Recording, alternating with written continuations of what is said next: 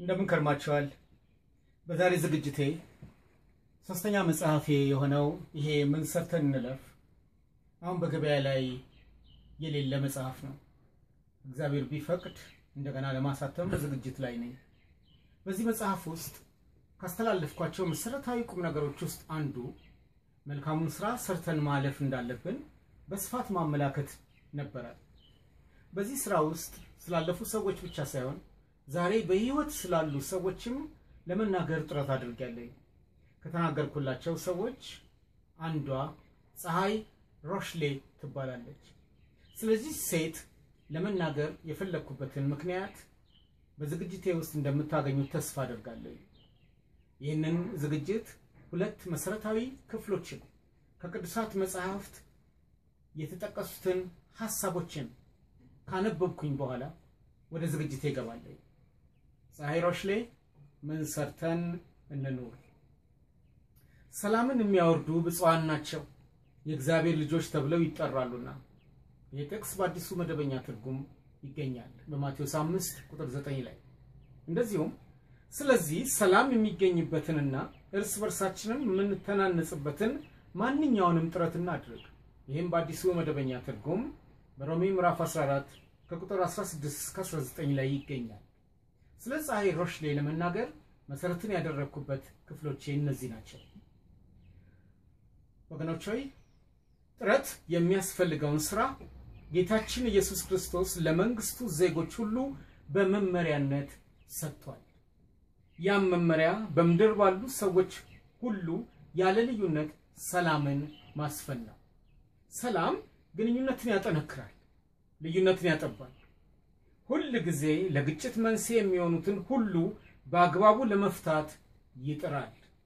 ሰላምን በማስፈን መኖር ረሃብ ቢገኝም ተካፍሎ መብላትን ይጠራልና ሁሌ ጥጋብ አለ። የሰውን ክብር የሚያጎድፍ ምንም ነገር ሲገጥም ሰው ሁሉ በእግዚአብሔር አምሳል መፈጠሩን በማወቅ መቀባበልን ያመጣል። እንደ ድንገት ከወላጆች ልጆች ቢለዩ ሕፃናቱ አሳዳጊ አጥተው አይንከራተቱም። ሰላም ሁነኛ ዳኛ ሆኖ ሁሉን በያለበት ያደላድለዋል። ጌታችን ኢየሱስ ክርስቶስ ሰላምን የማውረድ ስራን የክርስቶስ ነኝ ብሎ ራሱን ከሚያስተዋውቅ ክርስቲያን ሁሉ ፈልጎታል። እርግጥ ነው ይህን ተፈጻሚ ለማድረግ ከራስ ጋር መታረቅ፣ የእግዚአብሔርን ፍቃድ በአግባቡ መረዳትና አሁን መሆን የሚገባውን በጎ ነገር ሁሉ ለማድረግ ዝግጁ መሆን ቅድሚያውን ይይዛል። የኢየሱስ ክርስቶስን ፈለግ የተከተለው ሐዋርያው ጳውሎስም የእግዚአብሔር መንግሥት ጽድቅና ሰላም የሞላበት መሆኑን በመግለጽ አማኞች ተግባራዊ ኑሯቸውን በዚሁ ማዝለቅ እንዳለባቸው ቀደም ብሎ መስክሯል። ይህን ምስክሩን እውን ለማድረግ እርስ በርሳችን በመተናነጽ ማንኛውንም በጎ ሥራ በመከወን ያንን በዘላቂ ጥረት ማኖር ተገቢ ሆኗል። ወገኖች ሆይ ይህ ገለጻ በምስክር ይጸና ዘንድ ሰላምን በአግባቡ ለመግለጽ አቋም ወስዳ የተግባር ሰው የሆነችውን ፀሐይ ሮሽሊን የዚህ ጽሑፍ የምን ሰርተን እንኑር መግለጫ ያድርጊያታለሁ። ሴት በሕይወት ስላለች ምስክርነቷን ሁላችሁም ታዩት ዘንድ እጋብዛለሁ። የተመቻቸ ኑሮ ለመኖር ኢትዮጵያን ለቃ ስዊዘርላንድ ለመኖር ፀሐይ ሮሽሌ አቀናች።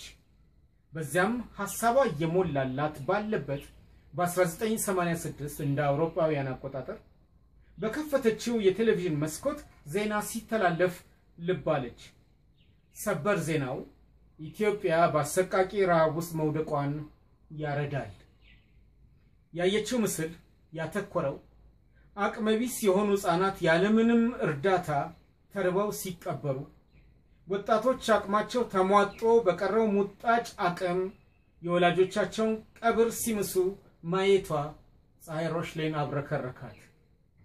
ሴቲቱ ደንግጦ መቆምን፣ ከንፈር መጥቶ መዘናጋትን፣ ከተግባር የጎደለ ጸሎትን ሳታሰማ በቀጥታ ጥረት ሊጠይቅ የሚገባውን ሥራ ለመስራት ሁኔታውን ባየችበት በዚያው ቅጽበት ወሰነች። ሐዘን፣ ሰቆቃና ሞት ከበዛበት ስፍራ ደርሳ ያቅሟን ማድረግ የልቧ ጽኑ ውሳኔ ሆኖ ተገለጠላት እና ያሰበችውን አደረገችው። ታከናውነው የነበረውን እቅዶቿን ገለበጠች። ምቹ ኑሮዋን ተወች። ሰላም፣ መረጋጋት፣ እረፍት በጎደላቸው ሁሉ ዘንድ በመድረስ ፍቅርን መዝራት ሁነኛ የኑሮ ትርጉም መሆኑን ለመግለጽ ፀሐይ ሮሽ ላይ ተነሳሳች፣ አደረገችው።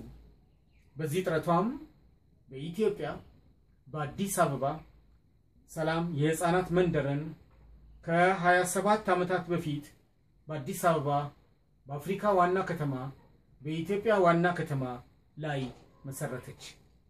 ይህ ተቋም ዛሬ ለብዙዎች ደራሽ ሆኗል። የሰላም መንደሩ ያለ ዘር፣ ያለ ሃይማኖት፣ ያለ ቋንቋ ልዩነት ሁሉን በመደገፍ ስሙን ሰላም አሰኝቶ በማህበረሰቡ ውስጥ ተገኝቷል። በአንድ ወቅት ፀሐይ ሮሽሊን የጠየቀ ዘጋቢ ለሌሎች የምትሰጪው ምክር ምን ይሆናል ባላት ጊዜ ምላሿ መጀመሪያ ወደ ስዊዘርላንድ ሲሄድ ብዙ ነገር መስራትና ሀብታም ሆኖ መኖር ምኞቴ ነበር። ዓላማዬም ይኸው ነበር።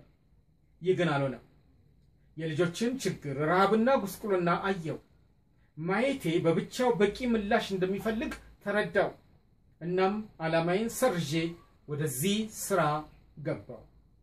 እኔ ለማንም የምመክረው በዚህ ዓለም እስካለን ድረስ በአንድ ቀን ውስጥ አንድ ልብስ ብቻ እንለብሳለን። ለወዳችን ውስን ምግብ እንመገባለን። መኝታችንም በአንድ አልጋ ላይ ነው። ከዚህ ውጭ ግን ለራሳችን የምናከማቸው የትኛውም ነገር ካላካፈልነው በቀር ከጌታ በረከት አናገኝም። ይህን መፈጸም ደግሞ የጌታ ፍቃድ ነው የሚል ምላሽ ሰጥታ እንደነበር አውቃለሁ። ይህ ምላሽ ሰላም Children Village 25th anniversary ገጽ 3 እና 4 ላይ ይገኛል። ታዲያ በዚያው በሰላም ሕፃናት መንደር አድጋ ለቁም ነገር የበቃችው ማሪቱ ጸጋዬ ስለ ሰላም ምንነት ስትገልጽ ሰላም የሕፃናት መንደር እኔ የምፈልገውን ብቻ ሳይሆን የሚያስፈልገኝን ሁሉ በማድረግ አሳድጎኛል። ሕይወቴን ሊለውጥ የሚችለውን ነገር ከማድረግ ጀምሮ ራሴን እስከ ማስቻል የደከመልኝና በምን መንገድ መጓዝ እንዳለብኝ ያሳየኝ ደግሞም በግሌ የዘላለም ሕይወትን ነጸብራቅ ያየሁበት ስፍራ ነው በማለት ጽፋለች። ወገኖች ሆይ ይህ ምስክርነት ከ27 ዓመታት በላይ በዚህ ያደጉትን የሰለጠኑትንና ለቁም ነገር የበቁትን የሁሉንም ድምፅ የሚወክል ነው። ሰላምን የሚያወርዱ ብፁዓን ናቸው ማለት ይኸው ነው። እርስ በርሳችንም የምንተናነጽበትን ለማግኘት መጣርም የሚገለጸው በዚሁ ነው። ጌታችን ኢየሱስ ክርስቶስ ሕግን ሁሉ በሁለት ቋጠረ። ቀዳሚው እግዚአብሔር አምላክን በፍጹም ልብ ሐሳብና ኃይል መውደድ፣ ከዚያም ቀጥሎ የሰውን ልጅ ሁሉ እንደ ራስ አድርጎ መውደድ የሰው ሁሉ ሁለንተናው ሆኖ ተገለጠ።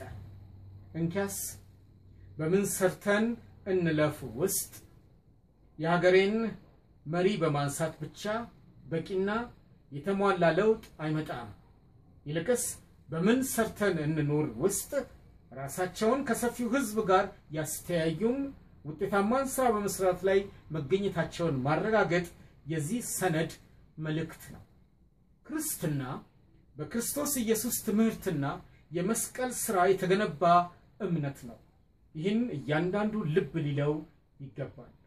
ሁላችን በሚያልፍ ዘመናችን የማያልፈውን የጌታን ፍቃድ በመፈጸም ለመኖር እንስማማ። ስለተከታተላችሁኝ ከልብ አመሰግናለሁ። እግዚአብሔር ዕድሜና ጤና ይስጣችሁ።